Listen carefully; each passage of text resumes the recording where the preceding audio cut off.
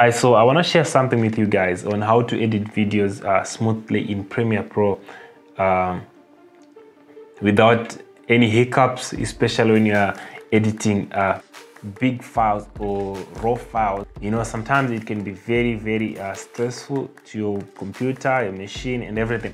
So stay tuned, and I'm gonna share with you on how you do it. Booyah.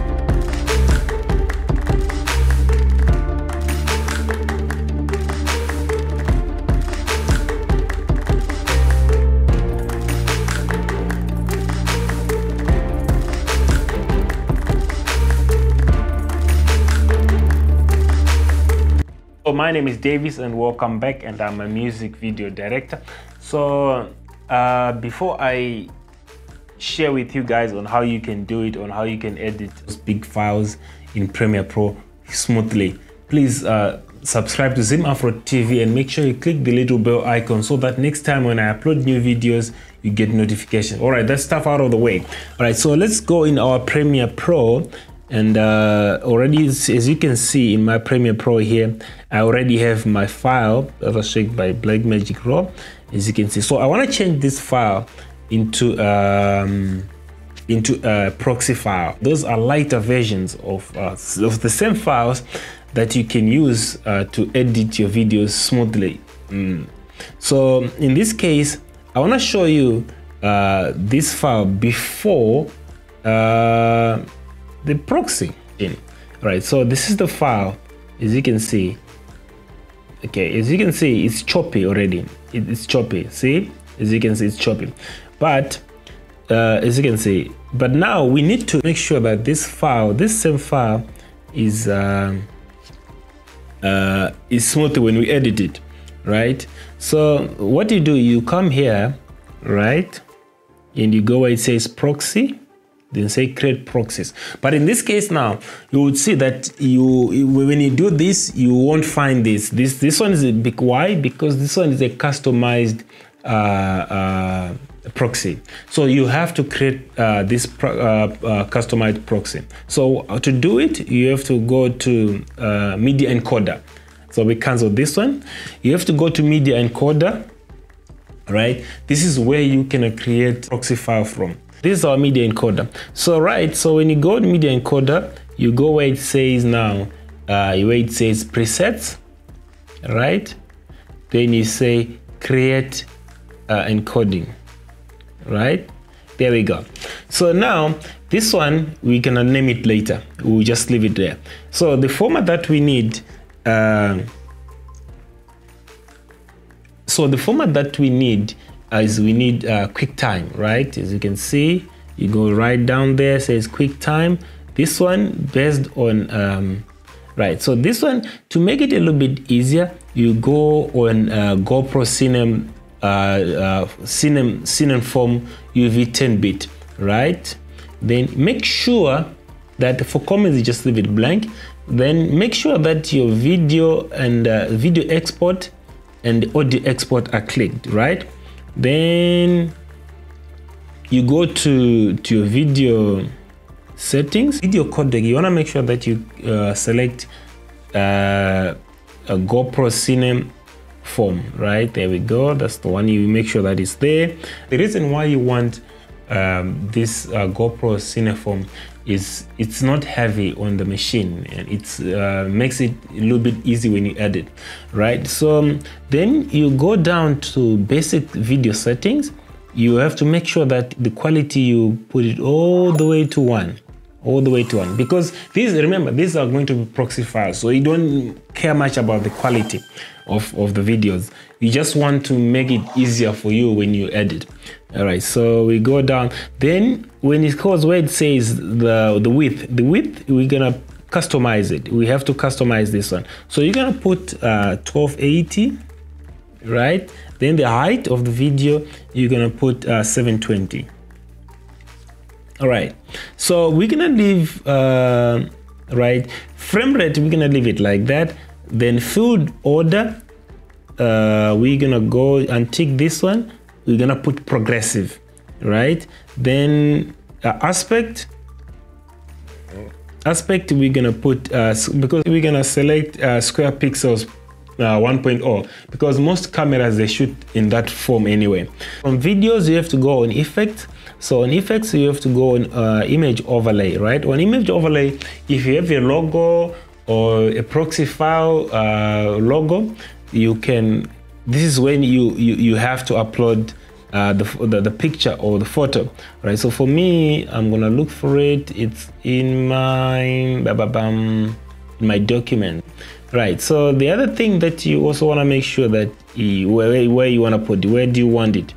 Where do you want to place uh, your so for me i normally like it on on the top right corner. That's that's where i like mine anyway. So that I, whenever i'm working on on, on my proxy file or on my file i can see um, yeah, or differentiate which one are the proxy, which one are not the proxies, or which one are the original files, and uh, I mean, so that I can um, differentiate between the proxies and the original files. All right, and everything else you leave it like that. Okay, everything else you don't touch. So let's just check to see if we've done everything. Right, so on the customs, right? On the on the best preset best preset you have to go all the way gopro cineform uv uh, 10 bit okay? So on the preset name we need to rename that one. So cineform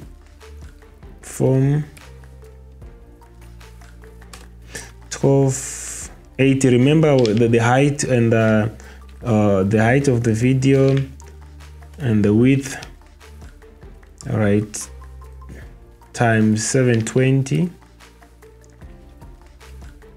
720 uh, like in my case that video that I showed you was 60 frames per second so FPC oh, this one I also I also use it when he, on any 60 frames per second video that I would have. That's it. Let's just double check. Everything is good. Then we say okay right? Now, after we have done this one, we need to go on our user preset. So now there you can see uh, our, our, our, proxy we just created it. But now we need to create a transcode that can be read by um, Premiere Pro. So now we go there, we, then you say create an ingest, right? So as you can see, the unmanned settings here uh, that we need to do. Uh, preset name, we have to name is name 1280 uh,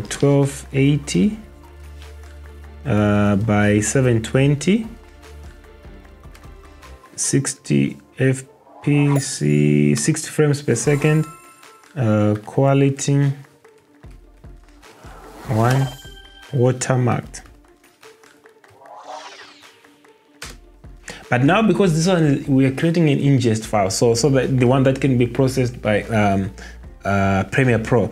And also it will be easier for us to be able to distinguish between the one for Media Encoder and the one for Premiere Pro. Okay, so we have to write ingest for ingest files. Right, for comments, we don't put anything. Copy files to destination, we don't even touch it.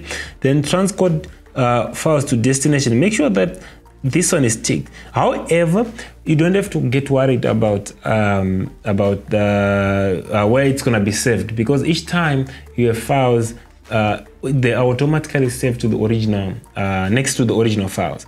All right, format. Make sure it's QuickTime. All right, and the preset. Make sure that it's uh, the one that we just created. Okay, and then you click OK. After you have done this, you need to know where this file is uh, is served all right so you just have left click right then you say reveal file all right so now we know where our file is uh, served right? Now let's go back to Premiere Pro. So for this video we want to create uh, a proxy file right? Here we go. So let's go where it says proxy then say create proxies right?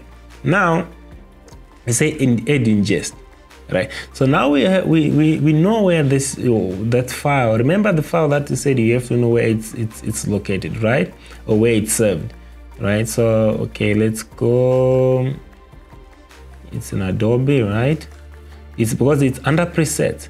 In media encoder right we click on media encoder presets and there we go. There is our file we just created this one all right? So we just click it and open it there we go and so as you can see now all the settings remember what i said that you don't have to get worried on where it's going to save now it's going to be saved next to the original file uh, in the folders next to the original file. So you don't have to go look around. Okay, where is my my my proxy file? Now you, you cannot tell whether the the the, the proxy file has been created. Now also we, we need to find if that proxy file has been created. Okay.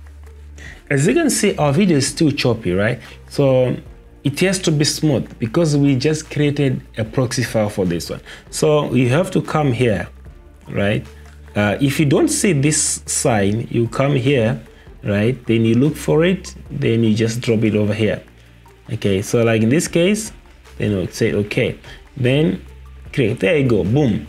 There you go, proxy. So now if I play this video, it has to go smooth.